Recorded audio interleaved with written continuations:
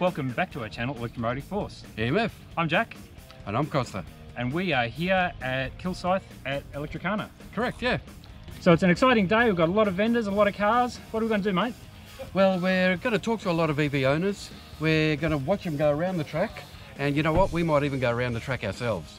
Yep. So there's a few vendors. We're going to go see them. Um, there's some e-bikes. There's some electronic, uh, electric tech. Uh, there's uh, some pretty cool recumbent bikes, and uh, what was the other one? The solar cars. Solar cars. And we're going to see an electric trike today that's pretty exciting from Rebecca. What's this you're riding? It's my rainbow tricycle. Uh, Gomier trike converted to a thousand watt electric front hub. Excellent. Pretty good at doing burnout.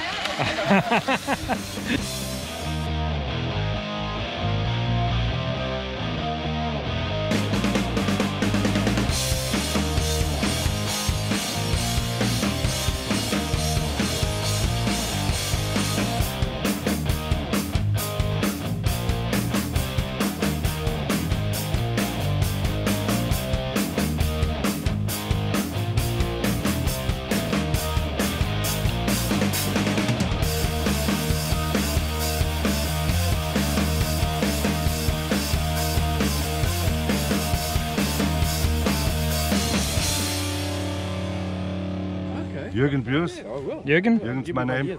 So you built this one, Yeah, I built that one. When you go. and you said it was a two-wheel drive. It has front wheel drive Yep. and rear wheel drive. Okay. The rear wheel drive is from a middle motor. The, it got a 35 amp hour battery pack, Yep. can go about 100 kilometer distance, That's fantastic. and the top speed is about 40 45.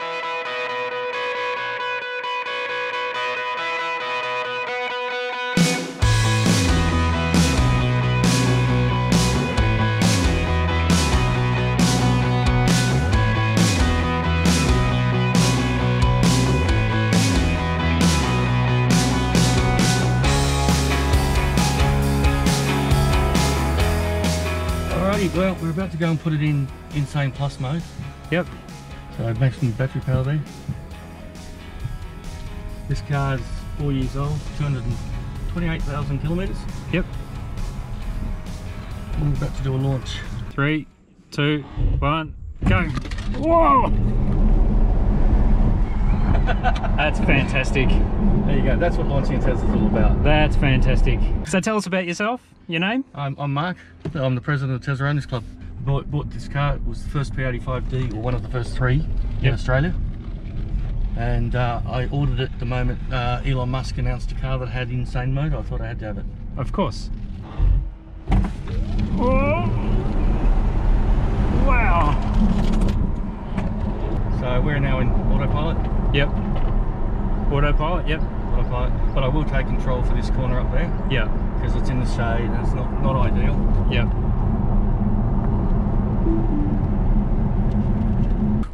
And the car will just pull itself to a stop. And the other thing you do, I'm currently in drive, but the moment I do this, it switches Yep. itself into park Yep. and it's, it's when I get out it'll turn itself off. Amazing. Thank you very much. No worries at all. I'm Russell Shepherd and I run Evolution Australia. So I started Evolution about four years ago. Um, if, I'm honest, quite by accident. Um, I created an Audi A3 uh, full electric, uh, and at the time my wife was concerned it was costing too much money. She was absolutely right. Uh, and so decided to sell a few chargers on eBay and so on, and uh, found out there was not only demand but also um, the product, but also demand for consultation and assistance from new EV owners, and basically that's how Evolution came to be. Uh, and since then we've uh, brought a number of products to market. We're obviously the distributor for uh, such great products as the Zappi and Charge Amps Aura and the Halo and all these kind of good stuff. And we also offer nationwide uh, installation service.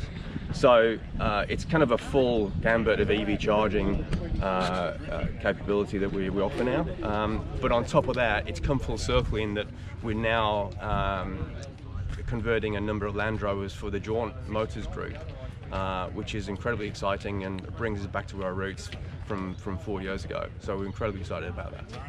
So the Jaunt project is all about uh, upcycling 1970s Land Rovers uh, for the Jaunt Motors Group.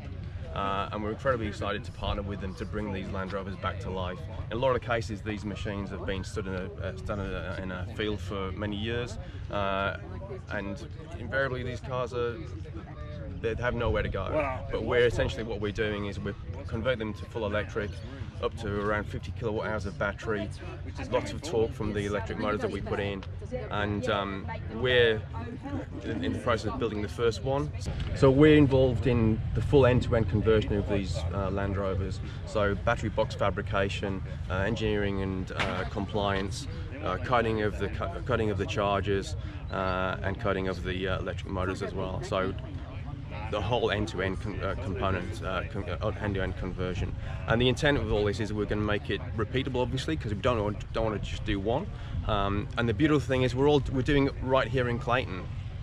And uh, you know, it'd be great for you guys to come along and have a look and, and see what we're up to, uh, and see how much, how much I guess, um, effort's going into it, and the design and the capability of, of, of, the of our excellent team at the moment.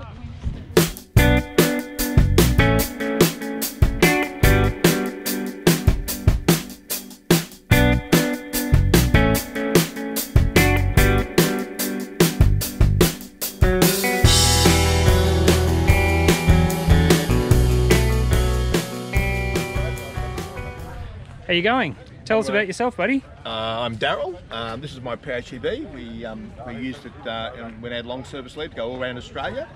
Uh, we did uh, about 14,000 kilometres all the way through. Um, got a map over there where we went. Um, whenever we wanted to go, um, through rivers, uh, canyons, uh, beaches, um, anywhere we wanted to go. So it was fantastic. Really enjoyed it. Um, we charged up every night. We had a, uh caravan park, um, so our first 40 kilometres would be uh, basically free. Excellent. Um, and uh, I think on the trip we averaged around about six and a half litres per 100k over the whole trip. Yep. Um, and really enjoyed it. No major problems at all. Uh, not even a flat tyre. So Wow. lovely, fantastic. Yeah, so on the blue lines we went uh, from Victoria all the way through the middle, out, out to Uluru, did some Kings Canyons and stuff up here. Uh, one of the big treks was over to Nhulunbuy, which is in the Arnhem Land area, Yep. um, and that's pretty rough. Uh, really rough road, and there's no service stations, so you we had to take a little extra fuel to get all the way there in one go. So we went there, came back, went up to Darwin, had a look there, and then uh, out through the Gibb River Road, out to Broome. Uh, then saw lovely Western Australia with all the uh, all the uh, wildflowers and everything like that. It was fantastic. My wife had a great time, and uh, yeah, just on the way back and yeah, through the uh, uh, the big the big strip down the the, the road there, which is um, you know Uh, a long drive. a long long drive to a Nullarbor Plain, um, and then through Adelaide and back again. Yeah, so we we had ten weeks. It was a great time. Um, yeah, really enjoyed it, and uh, we want to do it again.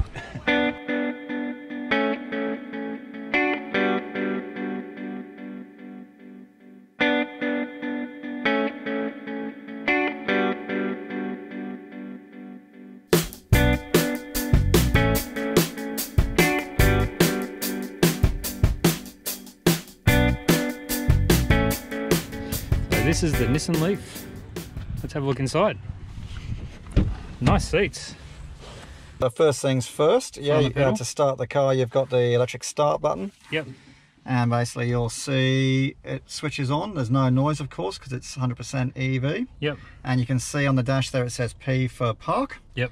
And then this little button down here, you can see these signs. Yep. And to put it into drive, you that's it. You snick it over and down, Down. and then you see D. It says drive down here. Yep. That's it, and you're ready to go. And then And the going to handbrake's off, you which is the foot brake. the foot brake. That's it. So it sort of drives itself a bit, doesn't it? It sort of creeps forward. Yep, That's good. And then- bar graph. Yep. Good for the IT heads here. that's it.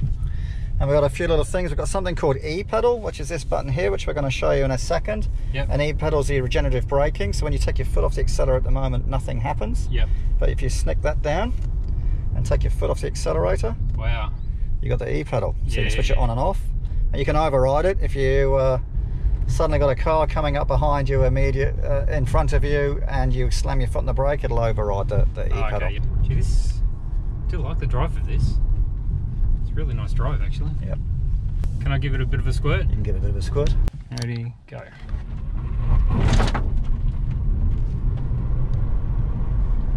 So there you were thinking it was uh, 40 kilometres an hour, but it was more like 80, 80 kilometres an Wow. hour. It's so deceiving. And once it's up and rolling, it's really fast. Yeah. I'm doing 50 miles an hour, so Yeah. without an effort. Yeah, we're getting up to 80, 90 kilometres an hour there. That So what's the range of this vehicle? standard uh, WLTP is about 270 kilometres. And there is a, uh, a a Leaf Nismo, believe it or not. Yes, yes, well. I saw that. That's the one I'd want. The um, the e-brake's actually quite good. Off the accelerator and it, it brakes Yep. for you, so you don't have to change your foot. Yep. And there's other features like intelligent cruise control, which will uh, measure the distance between you and the car in front, or or a car uh, in front of that again. The adaptive, yeah. Yeah. It's come to a full stop and my feet are off the brakes. Yep. Thank you, that's really good. My so pleasure. just, Just put it back in press park the press the button. It's MP. and then Press the yeah, press that. thank you very much. Pleasure. Thanks for your time. So my name's Brian Drummond. I'm a retired electrical engineer and uh, I've had a passion to build an electric car for a few years. I finally got the time to do it. So uh, this is a Holden Barina, uh, Yep. 2000 model, um, a 1.4 litre petrol engine, which I took out and put a DC motor in. Uh, kept the transmission, but I, I dropped out the clutch. So now there's no clutch, so it's basically an automatic. I just drive in third and reverse. Does 100k range, it does about 110 k's down the road speed, and uh, yeah, it's a good little car. Takes about four to five hours to charge up off a standard power point. Yep. So what made you uh, want to upgrade this car or change build an build an EV? Uh, I wanted to build an EV because I uh, I had a couple of uh, had an Almanara V8. and I wanted to offset my green credentials. okay. That's rather noble. Uh, yeah, that's right. So um, anyway, I want to do another one. I want to use AC technology for the motor. This is DC technology. Yep. So you mentioned the cars for sale? Uh, yeah, the car's for sale. It's about fourteen thousand on your offer. It's got uh, it's two years since the conversion when done, and I calculate it's got another thirteen years in the batteries. Wow. Okay. So quickly, just the uh, batteries and uh, the the motor. What what are the details? Okay, so it's a DC motor. It's uh, a Bulgarian motor. It's rated at 22 kilowatts, but it peaks at 60, which is actually more than the petrol engine, so it's got a, quite a lot of grunt. Um, it's using a solid state control, which is a Western Australian designed local product. Yep. With a battery monitoring system. Yep. And it also has a display in there, that little black display there. Yep. And you, uh, you mentioned the circuitry here. Yeah, so that circuitry there is off the internet modified slightly, so it's quite easy to do. So Yep. it's pretty easy to do. Um, So there's a little display in there. oh, there's a display right there. Yep. Yeah, it's And then the uh, so the batteries is uh, the fuel tank. Batteries is the fuel tank. The original fuel tank's under there. It's gone. So it's 45 lithium-ion batteries, 100 amp hours each. Yep. Each battery is monitored for under and over voltage and temperature. So where's the uh, plug? Where do you plug it in? Ah, well, same place as putting oil fuel in. Oh yes. Okay. And it's just a standard three-pin plug. Okay. So it pulls about uh, 9 amps to 240 volts to charge up. You just plug into a normal power point. So it's got a 800 watt heater, water heater. Yep. It circulates this fluid around through the existing heater core. Oh, okay. So yeah, that's how you keep the, the smister uh, working and also it provides a bit of heat. But I've also put in some uh, electric seats, Okay. 12 volts, which is very nice. The mod cons. Pod cons. Doesn't have air conditioning, you just got to open the window manually. Okay. So some of the other things which you might be interested in is um, you've got to have a vacuum pump for the power brakes. Yep. And you must put on a second uh, pressure switch to put a warning light if you don't have any vacuum. Yep. Don't use as the old oil light now. Okay. If you've got low oil, it means low air. And this little blue cylinder down here, yep. that's a vacuum accumulator. So that gives you half a dozen brake applications if the pump stops. Okay. Uh, what else is interesting? Um, you've got to have a. Uh, I had to have a new power steering pump, so this is an electric hydraulic power steering pump. Yep. Um, so it's variable speed and variable pressure. So it goes up. So the transmission's uh, standard. Transmission stock standard. I just drive in one gear third, no clutch. Yep. Yep.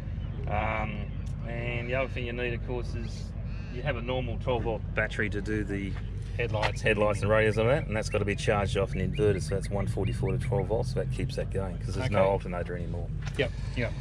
And uh, yeah, that's about it. So interesting. The cars for sale. Cars for sale. I want to build another one. Yep. So uh, anybody, anybody wants to uh, bring us up, they can have a test drive. Thanks for showing us around your car. Thank you. Thank you.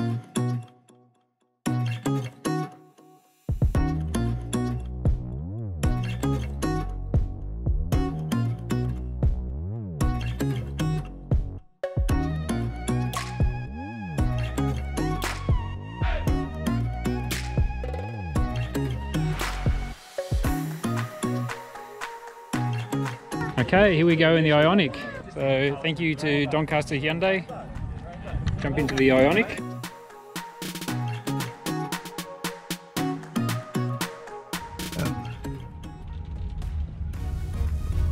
Feels a lot lighter than the Kona. It handles beautifully. Regenerative braking is the same as the uh, Kona. That rattling noise is a piece of paper on the front of the windscreen. Feels like a normal Hyundai inside. Seats are great. Yeah, it's a great cruising car, this one, isn't it? Oh Very nice. So we just uh, press park, handbrake, power off, and a beautiful chime. Test drive, take two.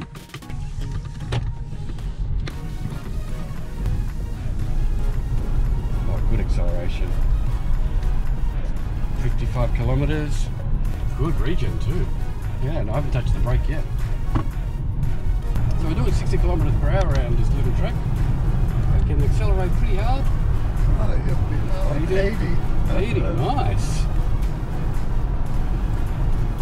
And really, it's effortless the way it accelerates.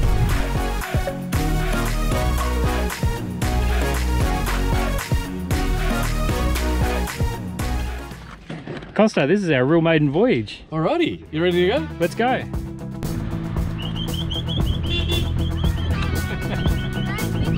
You too.